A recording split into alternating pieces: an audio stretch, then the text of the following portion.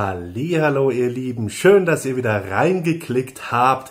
Heute habe ich euch einen neuen Comicband von der Retrofabrik mitgebracht.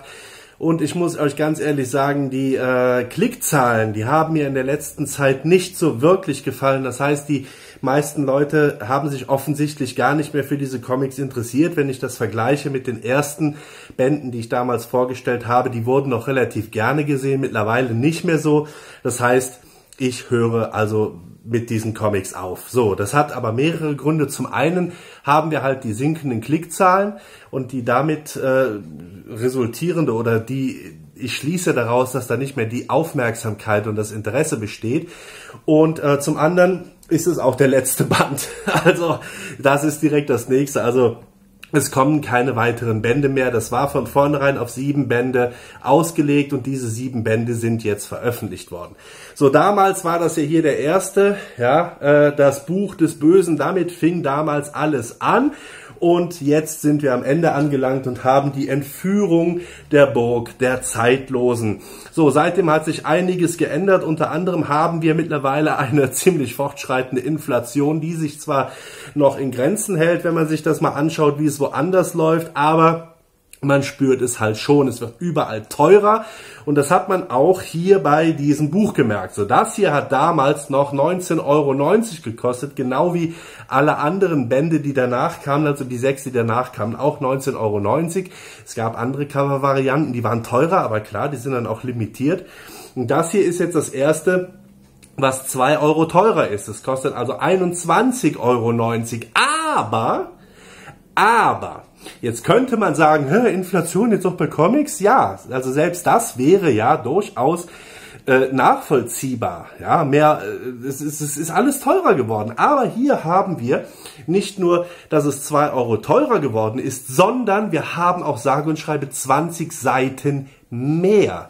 Ja, damals das Comic hier, das hatte 132 Seiten und das hier hat 152 Seiten. Das heißt, hier sind 20 Seiten mehr drin und dann kann man sagen, okay, ja, wenn es direkt mal 15 Prozent mehr Umfang hat, dann können wir auch sagen, okay, da bin ich dann vielleicht auch bereit, mal einen Euro oder zwei mehr hinzulegen. Abgesehen davon, dass 22,90 Euro oder 21,90 Euro immer noch ein Preis ist, wo man sagen kann, das ist Spitze für ein Produkt wie dieses hier. Denn es ist wirklich, wirklich gut. Es ist erstmal großformatig und dann haben wir wie immer sechs Geschichten drin, nämlich hier dieses Mal die Geschichten aus den Bänden 19, 20 und 21. Damals wurde beim EHPA Verlag wurde die Serie nach 21 Heften eingestellt und ähm, ja, und jedes Heft hat halt zwei Geschichten mit drin. So, ja, und wenn ihr jetzt mal guckt, was ihr,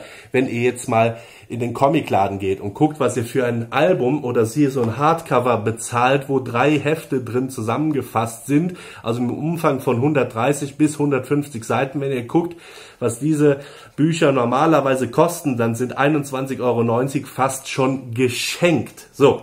Jetzt schauen wir uns aber erstmal diesen Band an. Der ist halt wie immer sehr, sehr hochwertig. Rausgekommen ist hier bei uns am 13. Juni diesen Jahres, also schon letzte Woche. Aber ich bin nicht dazu gekommen. Ich hatte wirklich so viel um die Ohren, dass ich euch heute erst, ich muss es ja auch lesen.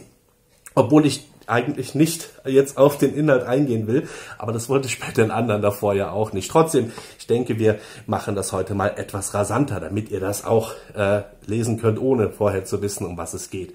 So, ja, also wir haben hier einmal dieses tolle Artwork. Auch hier gibt es natürlich wieder alternative Artworks. Da schaut ihr am besten mal auf der Seite von der Retro-Fabrik vorbei. Da kriegt ihr auch die vorherigen Bände noch. Jede dieser äh, Geschichten, die hier drin sind, also jede dieser sechs Geschichten ist in sich geschlossen. Das heißt, ihr könnt also auch mit diesem Band hier anfangen. Wenn ihr jetzt sagt, Mensch, der interessiert mich besonders, der ist neu, ich möchte mal ein paar He-Man-Comics von früher lesen, dann ähm, ja, könnt ihr euch den hier auch zuerst holen und anschließend dann die anderen nachholen. So, dann haben wir hinten auch nochmal Skeletor und Evil Lynn drauf. Auch ganz toll. Hier oben halt eine Inhaltsangabe. Und äh, was hier jetzt auch mit dabei war, das ist einmal diese Karte hier. Wo habe ich sie denn? Die habe ich als Lesezeichen benutzt und dann vorne wieder reingetan. Genau. Und zwar ist das diese ähm, dieser Hinweis auf einen Schuber, wo ihr dann alle sieben Hardcover-Bücher reinpacken könnt. Den könnt ihr jetzt auch bei der Retrofabrik bestellen. Diese Karte, die liegt damit, ja Karte, Papier, ein Blatt Papier, Werbeflyer, der liegt halt mit da drin und äh, eignet sich auch hervorragend als Lesezeichen, wenn ihr eins braucht und gerade keins zur Hand habt, habt ihr gerade angefangen, könnt ihr, ist dabei, ja, so ihr, und da gibt's halt diesen Schuber, wo man alle sieben Bände nebeneinander reinstellen kann. So, wenn wir die jetzt nochmal so nebeneinander halten, ja, dass ihr seht, ich erzähle euch keinen Mist, man sieht das auch ganz deutlich hier, das hat 20 Seiten mehr hier unten, das hat mehr, ja, also so, so, so richtig kann man es nicht sehen, aber es sind 20 Seiten mehr. So, gucken wir mal hinten rein, so, da können wir es doch sehen, hier, da, so, hier, da ist die letzte Seite, hier, hinten, da, könnt, da, da könnt ihr die Zahl sehen, ja, ich schwitze auch wieder. Es ist furchtbar warm, ne? Es ist wirklich furchtbar warm. Jetzt gehen wir mal hier, Band 1, so, hier, letzte Seite, da könnt ihr, ja, kann man sehen, da ungefähr. Ja, ungefähr. So, ja, wie gesagt, wieder einmal sechs Geschichten. Auf die sechs Geschichten möchte ich an dieser Stelle jetzt nicht eingehen. Ich zeige euch das nur mal. Wir haben vorne halt wieder diese Inhaltsangabe drin. Und äh, dann haben wir hier auch eine Einleitung nochmal, wo nochmal darauf hingewiesen wird, dass es sich hierbei um den letzten Band handelt und warum. Und hier nochmal die Abenteuer. Ja, auch hier weiteres Hintergrundwissen für interessierte Masters of the Universe Fans. Dann haben wir wie immer die Original-Artworks der einzelnen Magazine mit drin. Und vorne haben wir dann halt auch die äh, Magazinseite, also die redaktionelle Seite. Wobei, und das wusste ich nicht, das wusste ich nicht, das habe ich hier erst erfahren. Hier waren ursprünglich die Originalfiguren von Mattel abgebildet, die aber aus urheberrechtlichen Gründen hier nicht abgebildet werden durften. Deswegen hat man das hier durch gezeichnete Äquivalente ersetzt und äh, finde ich eigentlich auch ganz schön so. So, dann haben wir hier, äh, wie immer, die tollen Geschichten, tolle hier, He-Man, äh, He-Man ist ja hier Prinz Adam, hier Tila in lassiver Pose ähm, und Man at Arms. Und es, es, sind wieder tolle Geschichten, spannende Geschichten, viel Action ist mit drin. Ähm, wirklich großartig, aber wie gesagt, da möchte ich gar nicht groß drauf eingehen. Dann haben wir hier auch noch, ja, Magazin Nummer 20. Da sind auch wieder zwei Geschichten drin, auch, auch hier vorne wieder eine redaktionelle Seite. Und wenn ihr euch das ansieht hier, ja, die Farben, die Farben und die Schrift, das ist alles wie gehabt. Also ich muss da jetzt ja auch nicht im Detail auf alles eingehen. Ihr habt ja die anderen ähm, Videos dazu auch schon gesehen. Ja, dann haben wir hier noch den letzten Band. Wobei ganz interessant ist auch noch, wir haben hier auf der letzten Seite immer den Hinweis auf den nächsten Band mit drin gehabt, weil das halt damals auch bei den Magazinen mit abgedruckt war. Das ist jetzt aber ja hier nicht mehr der Fall, weil es der letzte ist. Jetzt weiß ich nicht, ob das hier ursprünglich drin war. Doch, klar, das ist die Rückseite. Da wird halt auf eine andere He-Man und Masters of the Universe Reihe, beziehungsweise das ist jetzt nur He-Man, ja, diese, diese spätere Serie, wo die auf einem anderen Planeten durchs Weltall fliegen, habe ich nie gesehen, hat mir auch nie gefallen. Ich mochte auch die Figuren nicht. Es war also He-Man ist für mich das hier auf Eternia und äh, das gefällt mir gut. Und dann kam das hier, aber hier ist jetzt auch schon muss ich mal eine Brille rausholen. Die gab es also damals wohl schon, weil das ist nämlich hier Nummer 5 schon. Das heißt, hier haben wir also schon Nummer 5 beworben.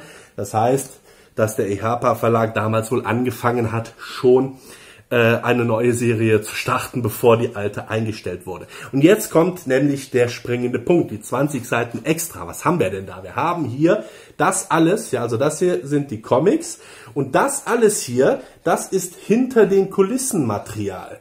Ja, das sind äh, Zeichnungen, es sind Poster, es sind ähm, wie immer dieses hinter den Burgmauern, wo ganz, ganz viele Hintergrundinformationen zu den Zeichnern, zu den Comics, aber in dem Fall auch zu der Restauration, also was da geändert wurde, wie Farben geändert wurden, angepasst an die Figuren, wie die Sprechblasen angepasst wurden. Teilweise wurden Texte umgesetzt, damit man das besser lesen kann weil es war vorher nicht ganz klar, wer sagt das jetzt eigentlich in, in manchen Fällen. Und es sind dann halt auch die Beispiele mit dabei. Es ist also wahnsinnig interessant. Und dann gibt es hier noch ein kleines Schwankerl. Hier sind nämlich auch noch die, wie viele sind es, die neun Teile der Fortsetzungsgeschichte Die Jagd nach dem Zauberschwert. Die waren damals, ich meine im Mickey Mouse Magazin wären die abgebildet gewesen. Das sind immer so zweiseitige Fortsetzungsgeschichten. Und dann war hier unten immer so ein Rätsel, da kommt man was gewinnen. Das ist jetzt aber nicht mit dabei. Warum auch immer. Schön finde ich aber, dass die Geschichte hier, also die neun Teile dieser Fortsetzungsgeschichte, hier auch noch mit drin sind. Das heißt, ihr habt also nicht sechs Geschichten wie bisher, sondern sogar sieben. Toll. Ja, also alles in allem wieder einmal ein großartiges äh, äh, Werk von der Retrofabrik. Schade, dass es das letzte ist, aber es wird mit Sicherheit doch irgendwie weitergehen. Die Retrofabrik wird auf jeden Fall nicht verschwinden. Und ich denke, dass auch die Zusammenarbeit zwischen der Retrofabrik und mir weiter bestehen bleibt, weil ich fand die He-Man, ähm, also die Masters of the Universe Comics von denen großartig. Die haben mir sehr viel Freude bereitet und auch wenn die Klickzahlen in letzter Zeit ein bisschen zurückgegangen sind, ja, ist halt so. Ne?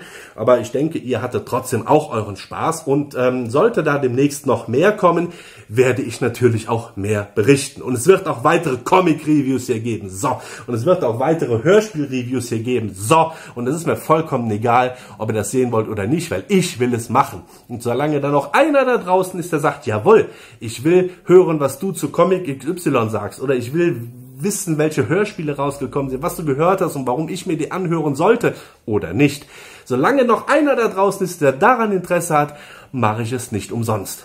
Und ansonsten mache ich das, was ich ganz häufig mache. Ich rede einfach mit dem Nichts. Ja, psychische Störung nennt man das. Aber so ist es halt, ne? Wir sind alle ein bisschen exhibitionistisch, ein bisschen kaputt, sonst würden wir uns hier nicht vor die Kamera setzen.